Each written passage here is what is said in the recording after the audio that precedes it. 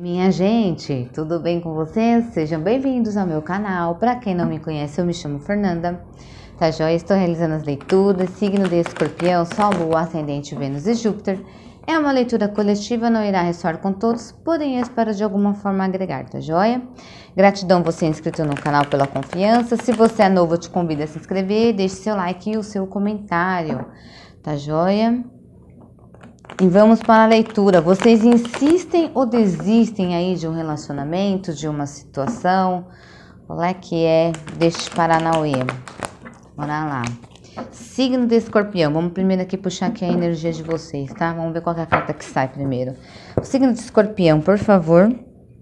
Eles insistem ou desistem dessa situação na qual eles se encontram nesse momento, desse relacionamento desse trabalho? Vamos lá. Eita! Oito de ouros. Vocês aqui empenhado em algo, focados, trabalhando, construindo o teu império. Essa carta ela me resume isso. Oito de ouros, a energia aqui que abriu aqui, o jogo de vocês, pessoas do signo de Escorpião focados e empenhados em fazer o seu melhor, em entregar o seu melhor e focados no objetivo, no objetivo que estão buscando, tá joia? Até presente momento nós estamos falando aqui de trabalho. A carta da morte renascendo, muitos renascendo, muitos fechando o ciclo e, e, e, e trazendo aqui um novo escorpião à tona. Aliás, carta da morte, né? A nossa carta. Quem mais que a gente, né? Que sabe morrer, renascer. Morrer renascer é que a gente mesmo, né? Já virou até como que é que fala? Irmão se ameias, né? A gente morre e renasce, morre e renasce.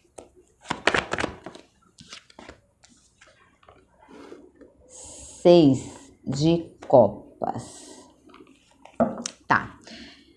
É, eu acredito aqui, gente, que esse, esse, o passado de vocês, ele tem muito a ver com relação a esse sentimento de vocês de morrer e renascer, sabe?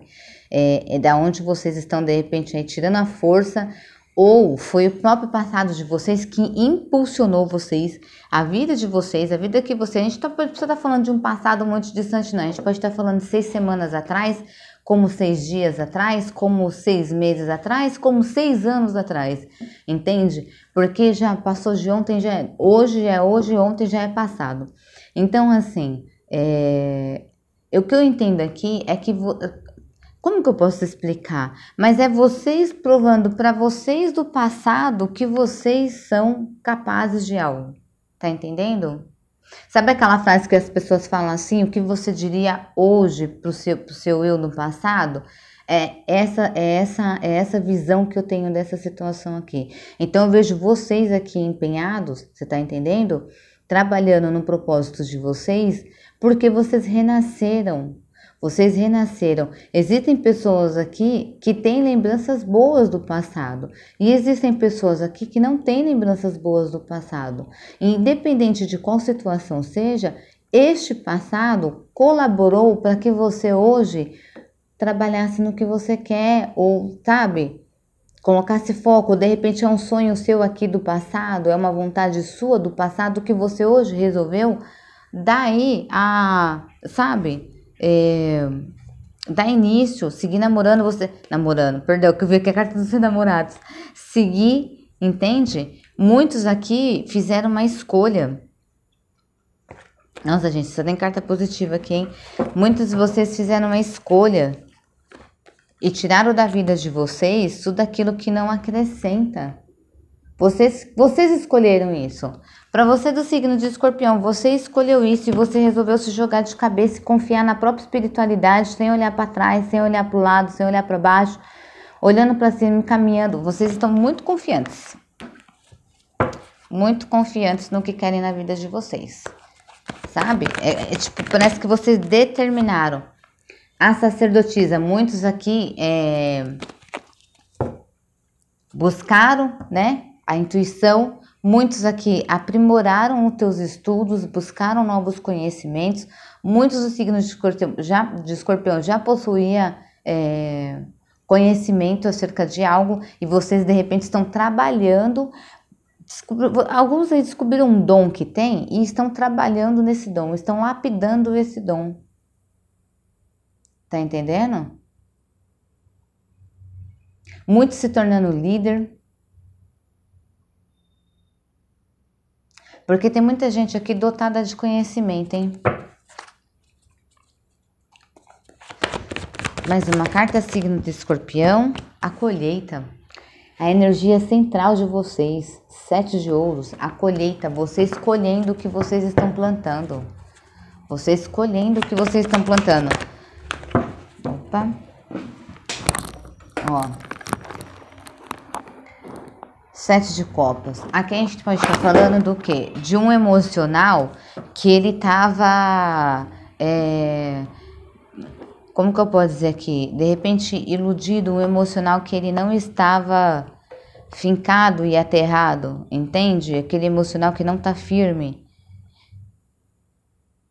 Muitos aqui sonhando, tendo sonhos. Muitos de vocês escorpinianos tendo sonhos com coisas que aconteceram aí no passado de vocês. Tá? Muitos aqui estavam iludidos com situações do passado, e aqui a gente também pode estar falando do amoroso, mas eu não vejo vocês insistindo dentro de uma situação. Eu vejo vocês desistindo também e focando aqui no, no trabalho de vocês. Vocês mudaram aqui totalmente foco. Para você, escorpiniano, que estava aqui preso a um passado com alguém, eu não vejo você continuando com essa pessoa, você insistindo dentro desse relacionamento, não. Eu vejo você querendo buscar o melhor para sua vida, querendo aqui a tua estabilidade financeira, tá? Ó, dois de espadas estão mais racionais, né?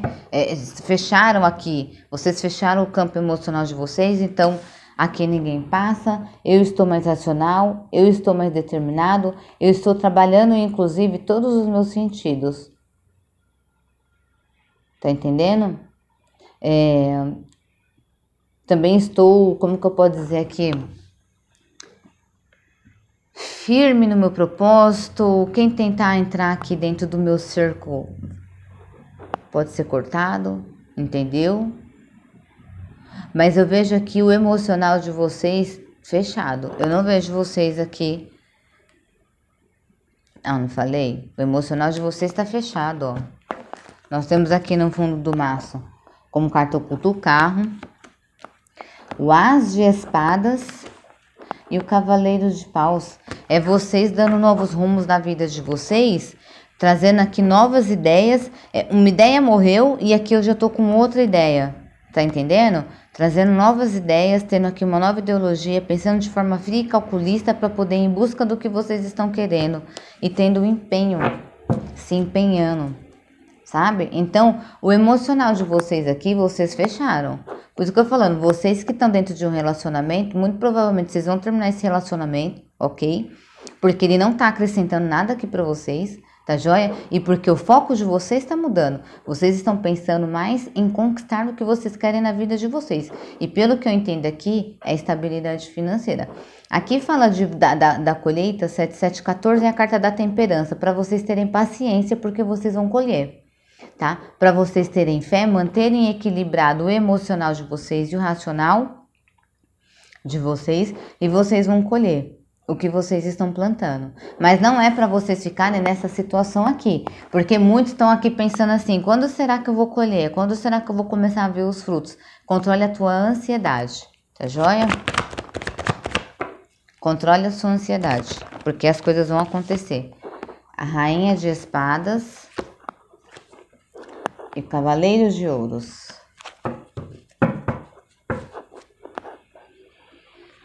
Aqui eu entendo o seguinte, que vocês estão aqui nessa situação, a Rainha de Espadas. Vocês estão é, mais frios, calculistas, é, vocês estão no foco de vocês aqui, tá usando aqui o racional, não tá deixando o emocional é, invadir aí o meio campo.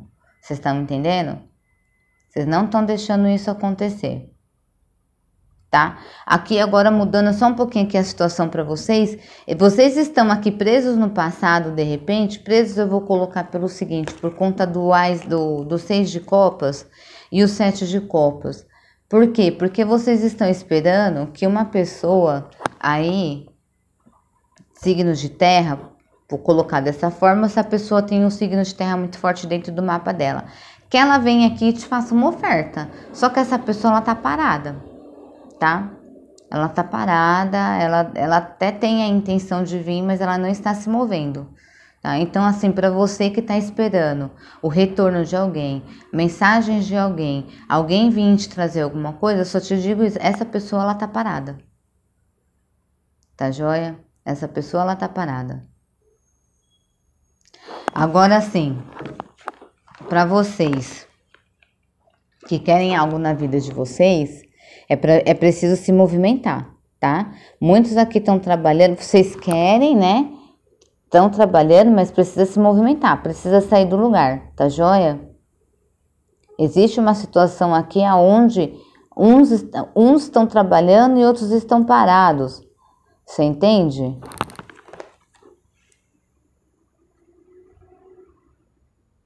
Aqui a gente também pode estar falando do seguinte: vocês empenhados dentro de um relacionamento, de uma relação aqui, e essa pessoa tá parada, tá joia? Mas aqui é para você continuar trabalhando, ok, entendi. Para vocês continuarem trabalhando, mesmo que as coisas pareçam não estar andando. Para vocês continuarem focando, tá joia? Peraí. Vamos cruzar aqui as cartas. Não falei? Vocês estão na, na energia da rainha de espadas. Vocês morreram e renasceram. Só que vocês voltaram aqui, ó. Entendeu? Deram, deram uma virada de chave aí. E hoje vocês estão aqui mais, mais racionais, mais mentais. Com foco no objetivo de vocês. Ok? Estão, entenderam de repente que para poder chegar onde vocês querem é necessário que vocês se tornem pessoas mais racionais e menos emotivas. Que deem aquela fechada no coração. Tá entendendo? Cruzando aqui o dois de espadas com o seis de copas, é o que eu falei para vocês, que vocês estão com o emocional de vocês aqui fechado, tá vendo? Alguma situação do passado aqui, vocês fecharam o campo emocional de vocês. Tá? Vocês realmente não estão aqui é, abertos. Houve alguma situação do passado que aconteceu que fez com que vocês se sentissem assim que você se sente fechado, ou vocês só estão carregando apenas aqui é, situações do passado. Ó, joia? Aqui tá pedindo o seguinte, para vocês buscarem dentro de vocês o, o conhecimento. Acesse a sua intuição. Pare de. Não fique viajando nas ideias, porque nós escorpianos nós tem dessa. Nós gosta de ficar. Porque a gente é muito sonhador, né? A gente é muito sonhador, eu falo por mim, porque eu sou escorpiana e eu sou sonhadora pra cacete. Mas para quê? Mas para a gente poder lembrar, né, daqui da nossa existência, para a gente se equilibrar, acessar aqui a nossa intuição, usar o conhecimento que nós temos para ir em busca do que a gente quer e não ficar só parado no mundo da ilusão, só sonhando, esperando as coisas acontecer, porque elas não vão acontecer se a gente não tomar atitude e não fizer por onde, ok? Também vejo muitos aqui é, referente a, a concurso, ah, trabalhando em áreas que são burocráticas, tá joia?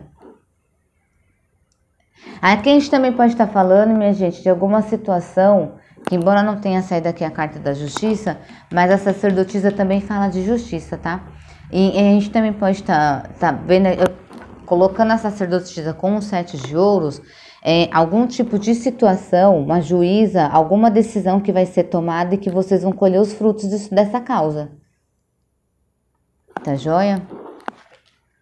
Por quê? Porque a, a sacerdotisa, ela também é uma juíza, ok? Ela também representa aqui uma juíza no tarô, tá joia? Mas a energia central de vocês é essa daqui, vocês colhendo o fruto do que vocês plantaram. Logo, se for coisa boa, vai plantar, vai sair coisa boa. Se for coisa ruim, não vai vir coisa tão boa aí, né? Vamos lá, vamos dar uma clarificada com o baralho cigano? Baralho, por favor, dentro desse contexto da leitura aqui do signo de escorpião, que veio várias informações, clarifica pra gente, por favor, os signos aqui envolvidos: touro, virgem, capricórnio, câncer, escorpião, peixes, gêmeos, libra e aquário. tá? Aí nós temos a carta de escorpião e a carta do signo de câncer. São as energias que estão predominantes aqui, tá joia? Signo de escorpião, Sol, Lua, Ascendente, Vênus e Júpiter.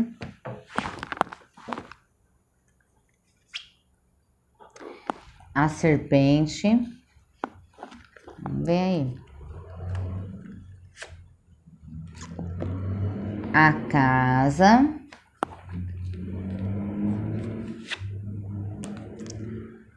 O jardim.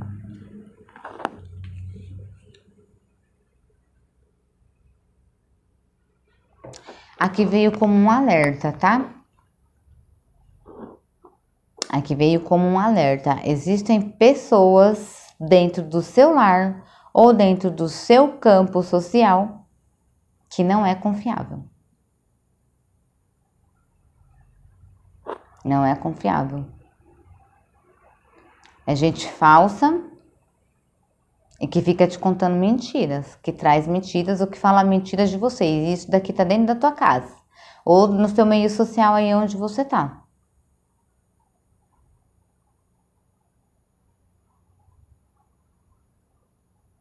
Aqui, aqui veio como um alerta.